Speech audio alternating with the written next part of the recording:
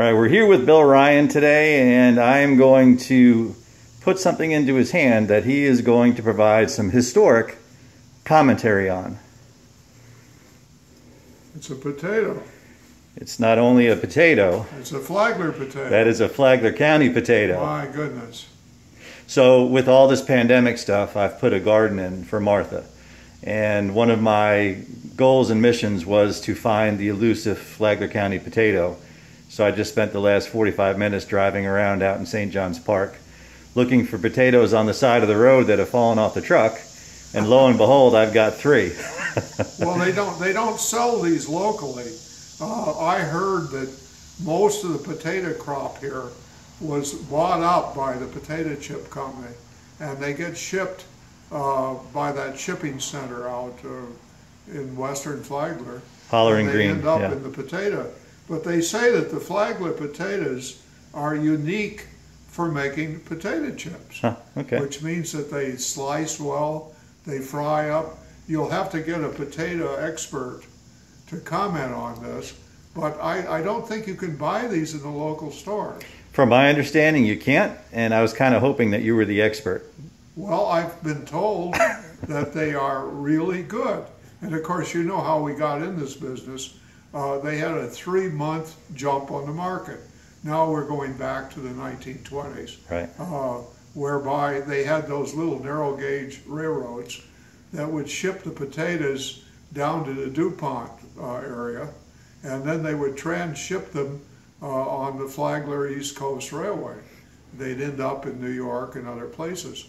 But these were uh, chip making potatoes. I guess you can eat them. I mean, it's a good potato. I read an article in the Bunnell Home Builder that when Flagler County was formed in 1917, the governor of Florida at the time, I think his name was Catts, or, or something similar, um, bought 40 acres of land in Flagler County and uh, was going to plant Irish potatoes in support of Flagler County's coming industry and commodity of, uh, of farming. So. Well, Irish potato, as you know, is just a generic term. And I'm not uh, an agricultural expert, and I'm sure there's somebody who knows.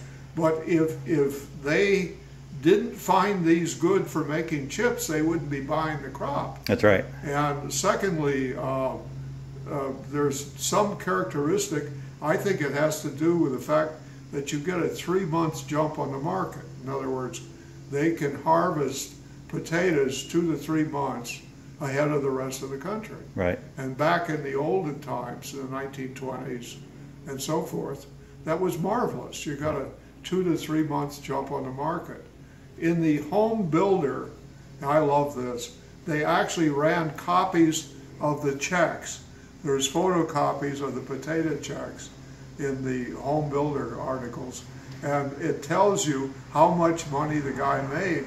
Well, back then it was big bucks. Yep. I mean, you have 40 acres of potatoes.